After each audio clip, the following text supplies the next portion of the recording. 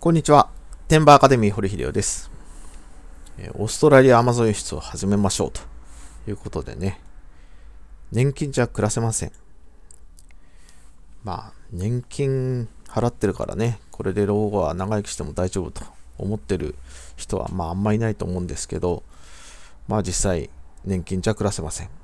で、インフレ考えると、貯蓄もうね、ちょっとやそっとの貯蓄じゃ役に立たないと。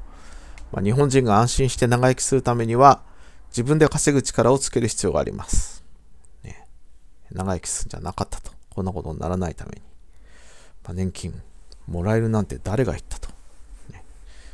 年金もらえないなんて誰が言ったと。なんか年金払ってなかった人がやってたコマーシャルありますけどね。まあそういうお粗末でギャグみたいのが年金システムです。ね。当てにするにはあまりにも貧弱で頼りない。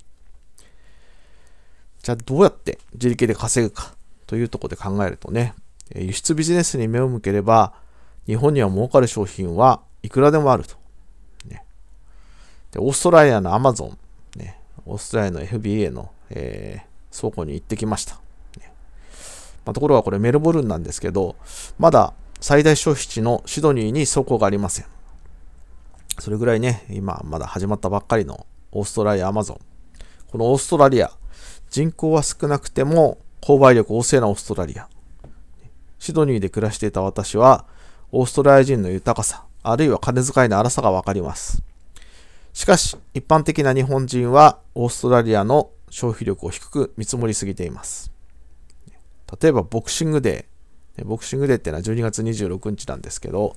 まあ、そのボクシングデー明けの、えーセール、ね、これ1日で売り上げ、えー23億6000万ドル、ね、約2000億円です。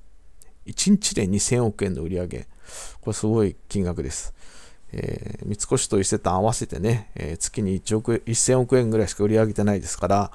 えー三越と伊勢丹、ね、全店合わせた売り上げ、えーその2ヶ月分を、なんとオーストラリアはね、ボクシングデーのバーゲン1日で売り上げてしまうと。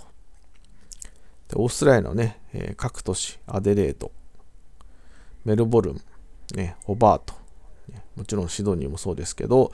まあ、年収1000万以下でもね、クルーザーを持つ人は結構います。ね、日本で年収1000万以下でクルーザー持つってのはちょっと正気じゃないんじゃねえのって感じなんですけど、オーストラリアね、全然、まあ、年収1000万以下でも、まあ普通にクルーザー持って、ね、海で遊びを楽しんでます。また、プール付きの家、ね、これシドニー、ね、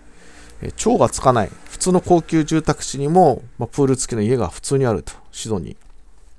プールなんて年間何日入れるんですかぐらいね、そんな暑くはないんですけど、なんかプールあるのがね、え好きなんでしょうね。すごい。プールをつけたら最後、光熱費やら、なんやら、掃除代や、ね、作るのに4000万、ね、維持費で月10万かかるんですけど、なんとプール作ってると。ね、これが過去26年間、景気後退したことがないオーストラリア。ね、過去27年間ですね。26年間と27年間ごっちゃになってますけど、6月で、えー27年間になってました。そんなオーストラリアで高く売れた日本製品、ね、えー日本で1600円のこのプラモデルのパーツ、ねえーなんとオーストラリアで110ドル、ねえー5倍以上で売れてます。オーストラリアアマゾン、今すぐ始めた方がいいです。で今すぐオーストラリアアマゾンは輸出を始めるべき理由は3つ。まず、アマゾンは実績重視。新参者には厳しいシステムです。始めるのは早ければ早いほどいいです。取引実績がたくさんある出品者とバッティングした場合は、新規出品者はなかなか売れません。ということは、自分が早く新規出品者じゃない状態になっていた方がいいと。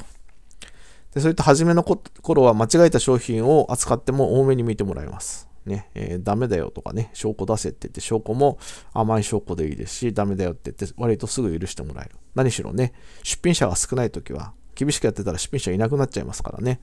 まあ、今アメリカだとね、もう即間違えた商品出したら退場です。まあ、ところがオーストラリアはね、えーまだ始まりたて、多めに見てもらいます。12月26日のボクシングデー、ね、先ほどの1日で2000億円売り上げるボクシングデーまであと4ヶ月。まあ、やっぱり4ヶ月ぐらいあればね、えー商品を探して売れる商品を、えー入れて待ち構えるということができますけど、これがやっぱね、1ヶ月、2ヶ月だと、ね、もう始まってすぐに盛り上がりが来ちゃって何もできなかった。そういうので終わっちゃいますからね。今から始めて一番の稼ぎ時をものにしましょう。でオーストラリアアマゾン、まだ始まったばかりです。アマゾンの売りであるプライムサービスも6月19日に開始されたばかりです。オーストラリア最大の都市、シドニー物流センターもまだ稼働していません。こちらは間もなく稼働する予定です。まあ、購入者へアピールするシステムも日本とアメリカと比べるとかなり貧弱です。つまり、今からオーストラリアアマゾン輸出を開始して商品探しをしている間に、どんどん売りやすくなっていきます。アマゾンがオーストラリアでマーケットプレイスを開始しました。日本に住んでるあなたにオーストラリアアマゾン副業で今の本業より稼ぐことができるチャンスがやってきます。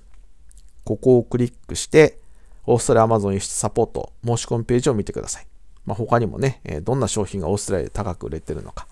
あるいはねえ、自力で稼ぐのは厳しいんで、サポートを受けるわけなんですけど、その転売アカデミーのサポート、ね、いくらでどんなサービスをしてるか、そういった案内をしてます。こちらをクリックしてください。